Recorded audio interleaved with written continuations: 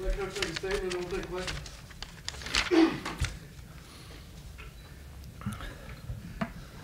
Yeah, what a what a big time win by our, our football team and program.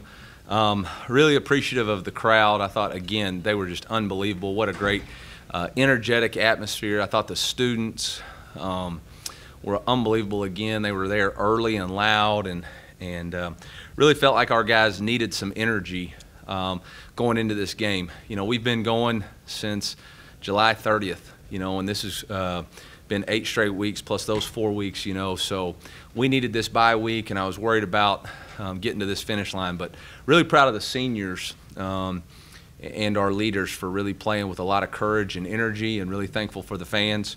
You know, it's always good to win homecoming when you invent homecoming. So really appreciative to our team, and then uh, to keep the Mayor's Cup uh, in the real Columbia, that's always something special too. So.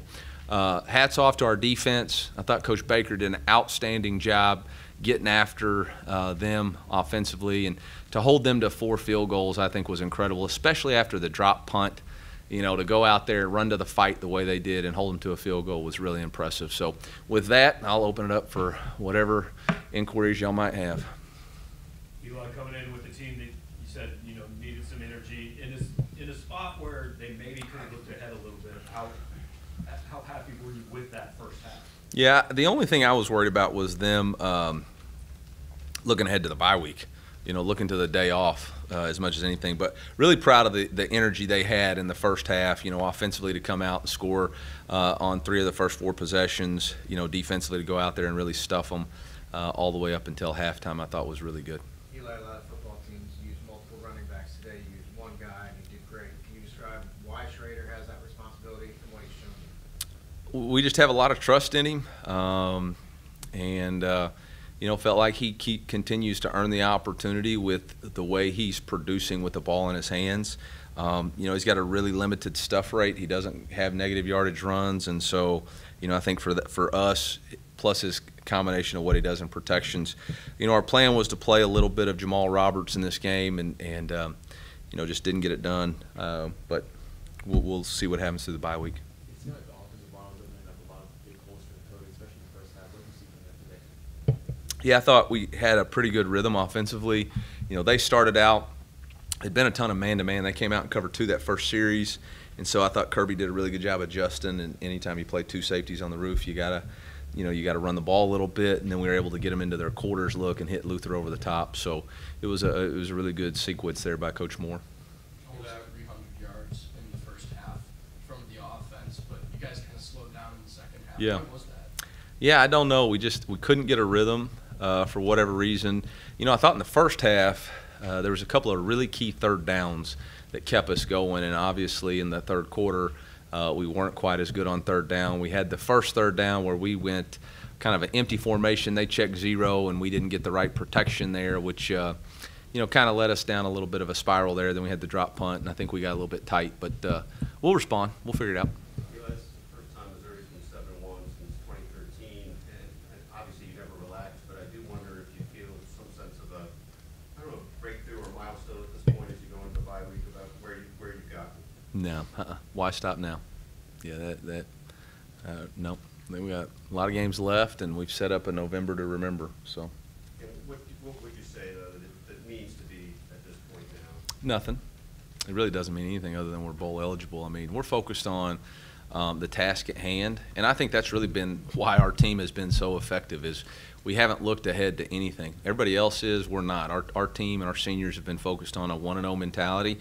We need to beat the bye week. We, we need to make sure we get rested up. We need to recover, um, and then we'll figure out what we got to do in November. Eli, penalties along the offensive line have kind of been a struggle, but tonight. didn't- Just had one, right? Yeah, Had the false start. Yeah, false start on the offensive line. What is kind of, what improvements have you guys made in practice that maybe have translated over to? We brought officials into practice.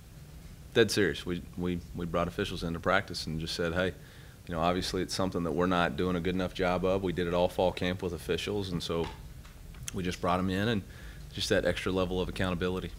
Coach, you mentioned uh, a couple of times that you guys have been, got your eye on this bye week coming up, but I think fans and probably a bunch of us in here are thinking about what's coming up the week after that. You got any, any thoughts about? Yeah, don't peak too soon is what I'd tell you. yeah, don't peak too soon is what I'd say.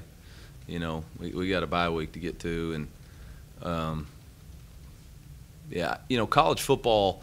It's really easy for the fans to look to the schedule and say, okay, we're going to get this, we're going to get that, one, and do this. But in that locker room, it's hard.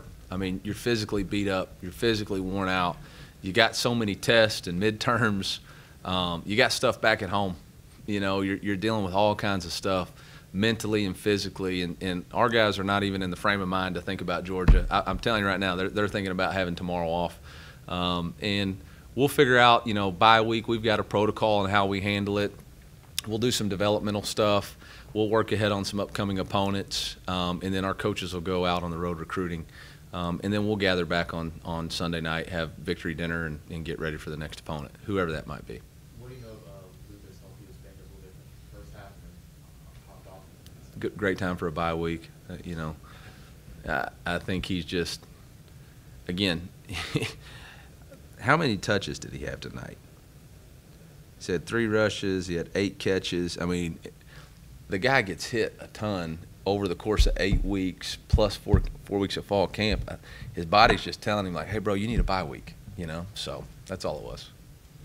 You know, it seemed like it sacked Spencer Rattler four times on third downs. Was the plan going in this week to, to tie up pressure on third downs? Yeah, our, our theme all week was rattle rattler. You know, we just felt like we needed to rattle him, and and uh, should have had more, but we had some really unfortunate, uncharacteristic penalties on third down. You know, we had the illegal hands to the face. We had uh, a late hit. You know, we had uh, a holding um, that all took sacks off the board. So, um, but I thought again, Coach Baker, Coach Peoples had an excellent job, a plan. Coach Smith with some of the pressures and and uh, really did an excellent job there. Coach, it seemed like on the defense at large, just with some of those sacks and some of the hits in general, there seemed like kind of a different energy, a different intensity. Was that something you noticed as well, and what contributed to that? Yeah, I think those guys again um, are just getting better every week. You know, and, and I think early in the year we had a lot of pressure, uh, probably self-infused pressure of trying to be something, and now I think we just are embracing who we are and trying to get better each week. Um, and I don't think there's really the uh, expectation or pressure that we've let put on us. We're just going out there playing free. Really impressive interception by JC right there, and then uh, corresponding uh, touchdown drive by the offense. It was really good complimentary football. Talk about starting fast a lot in the team's first game of the points in the game, how important was starting that fast? Yeah, I mean that's a it's an important part of it. You know, starting fast, finish strong is kind of what we talk about. Um, that's why we put the fist up in the fourth quarter, and and um, you know a lot of things that we discuss, our guys are just are bought into, man, and they believe it, and they and they're going to chase it, and it's uh, it's it's really cool when a group's aligned behind a purpose, and it's kind of what we see right now with our football team. Coach, last week, you know, despite the great win, we didn't really see the ball stretch too much down the field. This week, we kind of saw Brady come to open up to Luther Burden early. Was there any scheme changes that allowed the field to open up downfield more? Um, you know, every game plan is designed to beat a specific look that the defense gives you. And so, you know, some teams do certain things, other teams do other things. So there's no real, um, there's no magic play to get a ball vertically down the field or deep. You know, the second play of the game, we had one of our best, better play action concepts drawn up that we felt like we could get a, a vertical high low on the field, and, and they covered it really, really well. So, you know, I think that kind of put us in a position of saying, okay, well, that's how they're going to play. Then, then we have to dictate how we want to play. It's kind of what Kentucky was doing too. Um, I think good teams find ways to win, you know, and, and it isn't.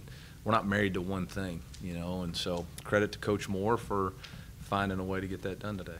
Eli, what'd you like to see, what, what did you like from Tristan Newson and some of the other guys, especially the, the depth guys that kind of stepped up tonight? Yeah, you know, uh, Hop kind of went out with a shoulder in the first qu- uh, first or second quarter, and so Tristan had to step up. And, you know, um, he's got, just kind of been baking in the oven, baking in the oven. Came out, had a big sack right there, and I think he's you know he's a guy that we need to continue to step up so that Hop can play at his full potential when he's not having to play so many plays. So, you know, I thought Trevez played pretty well today. I thought Marvin Burks came in and played well. You know, we were trying to rotate to save Ennis. Um, so again, Chris uh, or sorry, Dreyden Norwood did an excellent job just buying us some time there. And and uh, again, we're throwing a whole lot of depth at people right now, and I think that's that's a benefit for us. Coach, have we seen your best yet? Your- No, not even kind of.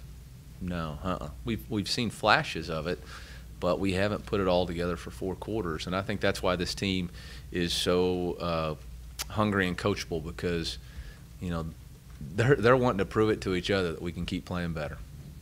The defense is really coming into its own in the last couple of weeks. What have you seen that's been a difference in that department? We practice better. Yeah, our, our defense is practicing a lot better, and credit to the defensive staff for creating new ways for us to practice and, and um, being attentive to details, but those guys have really picked it up in practice.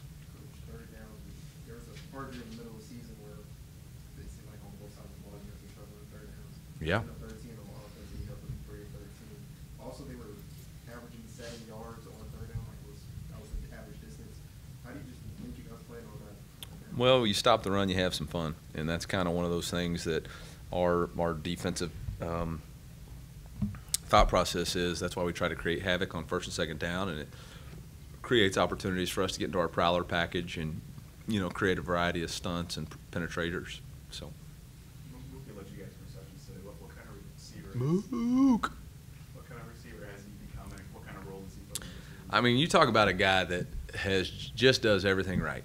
You know, just does everything right. Shows up every day, works really hard, um, doesn't worry about stats, noise, Twitter. Just goes to work, does his job, is reliable, blocks on the perimeter. Anything we ask him to do, he's a smart, disciplined football player.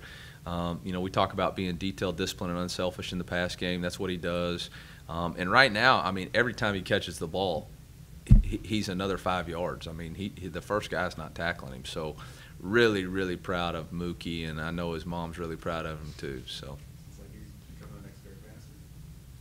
No, he's Mookie Cooper. Yeah, he's Mookie Cooper.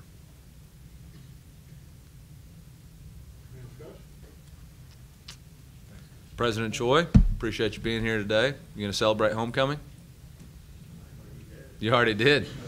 Celebrated it for me, so thank you. Yeah, yeah. M I Z.